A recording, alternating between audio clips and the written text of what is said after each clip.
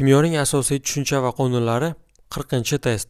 Qanday hajmli metan tarkibida 1.2 ko'paytirilgan Avogadro soni vodorod atomi mavjud?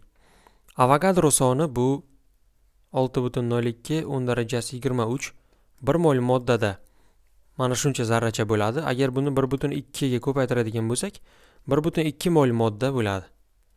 Ya'ni Avogadro sonidan 1.2 marta ko'p bo'lgan zarracha 1.2 mol bo'ladi. Avogadro soniga teng bo'lgan zarracha 1 mol bo'ladi.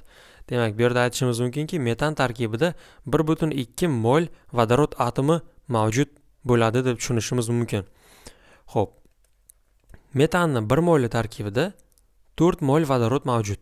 Bitta metan molekulasida 4 ta vodorod atomi bor va 1 mol metan molekulasida 4 mol vodorod bor.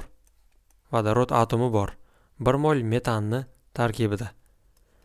Endi bizaga aytyapti 1.2 mol bo'lishi kerak metan.